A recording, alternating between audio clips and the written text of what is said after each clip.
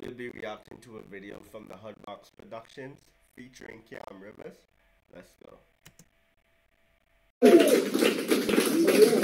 Yeah, this Charlotte in a minute, bro. Uh, yeah, shit, uh, Ch- Cheyenne was talking about work. Down cheesecake though. Like, she work been crazy for me, bro. like, last week, I was the victim of a accidental hate crime. And like, I didn't even notice shit. Like, I was just chilling on the line, closing down like usual. And my white manager, who I love, sweet white lady, I fucking love her. She walks up to me and shit, like, hey, Cam, you want some? I look down, and it's a slice of watermelon.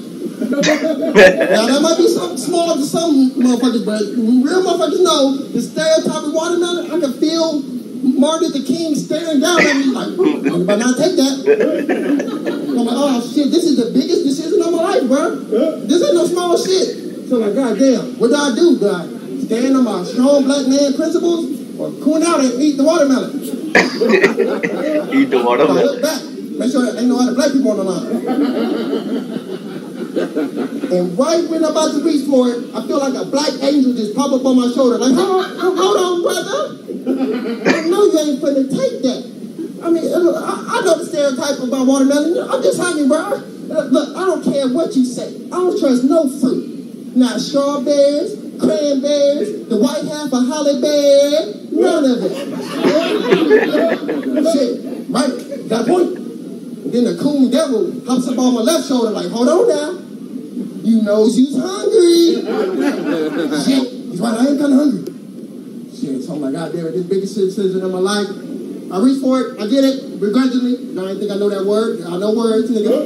begrudgingly. I take it. I'm like, okay, it's cool, you know, it's nothing racial. It's cool, it's nothing racial. I look back and I see her like handing watermelon out to the niggas like exclusively. Like, uh, she stiff arming the white people the way move.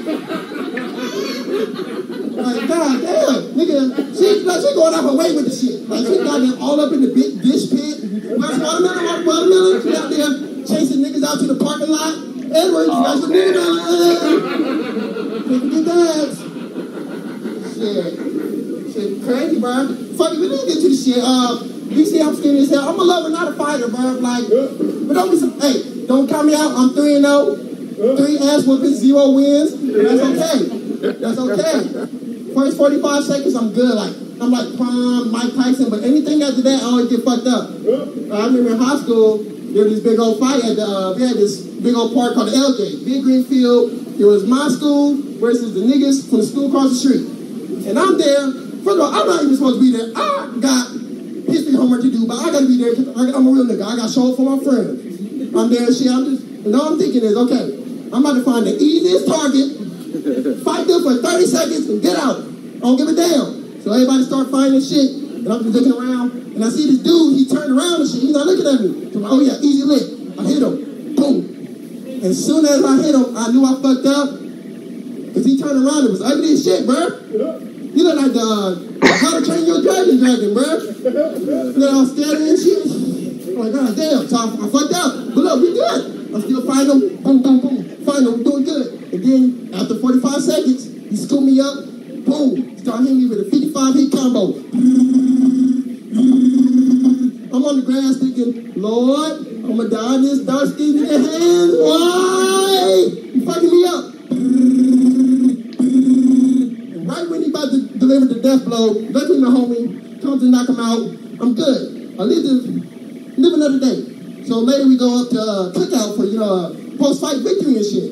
Uh, we got celebrates like war and shit. But when I get there, I'm, I'm, I'm mad because like I guess everybody else won their matchup. Cause like ain't nobody else fucked up. Like I'm the only nigga. Like ain't nobody got Damn. no cuts, no bruises. You hear my ass come in with a, a golden neck, a black eye, and a wooden leg. Talking about we fucked them niggas up. Right. Uh, that can get you the shit I want to. Y'all know them uh, gorilla dick pills at the gas station? Yeah. Don't take one, Saucy. Do not take one. Y'all act like I don't, y'all don't know what the, the shit right beside the lottery tickets. Y'all don't talk about. Y'all took two one time, Saucy. Fucked up. Worst part of my life. I had this bad, most beautiful girl I ever had in my life. Beautiful. But I couldn't fuck her because there's too much pressure. Like, I'm not a win in life, you know what I'm saying? I don't win like that, so I'm like, fuck it. After five weeks of failing, I'm gonna give me a gorilla dick pill, 'cause that's guaranteed. Ain't no way I'm fucking this up. Don't give me a gorilla dick pill. Pop one. Feeling good. Pop another one. The baby not coming through. Pop another. I got two. I'm reassured. So I get to a house, and trust me, this is life and death. Like, I'm treating this shit like it's game seven of the NBA Finals, nigga, okay? I'm a goddamn up there, goddamn go in her room, take my clothes off, my NBA warm-ups and shit. Yeah. I'm finally gonna do it. I'm gorilla dick pilled up. Ain't no way. Nothing can go wrong. As soon as she touched my arm, I busted a nut, bro. Fuck the point, I was even on hard, bro. Yeah, have you ever known Oh my God, bro. I was on Murphy, nigga. Shit. Oh my So I want to do this song, but I don't know how the vibes is. Gonna- You might be a little sensitive, but fuck it. We're gonna have fun. Y'all been drinking, take a little shot, so we're gonna drink. Um, I'm doing a controversial song by a controversial singer. If you like it, ride with me. Give me a clap. But if not, I don't give a shit. Fuck it.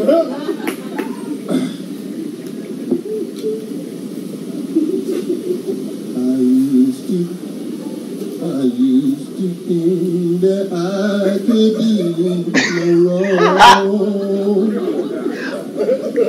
Then I dropped too many hints in all my songs. If I can play it, I can do do it. I can't believe it. I need your help now. I'm going through it. Take clap. I believe that she's not. I got arrested by the FBI. I think about it every night. Night and day. She spread her cheeks, now I'm like the way. This a herpes so Only wonder if she's born in 2004. I believe that she's not.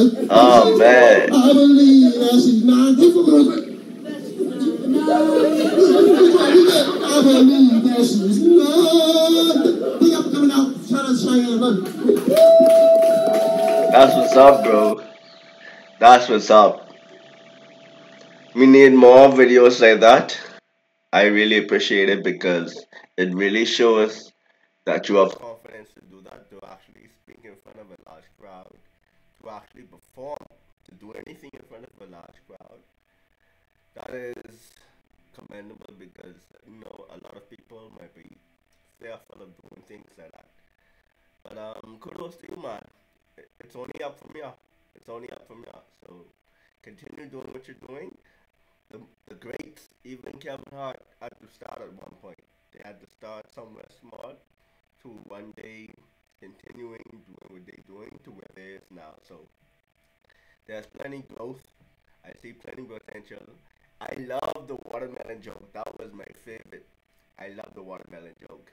So um, continue doing what you're doing, Cam. But until next time, this is your boy, Steff Reacts, and I am out here. Peace.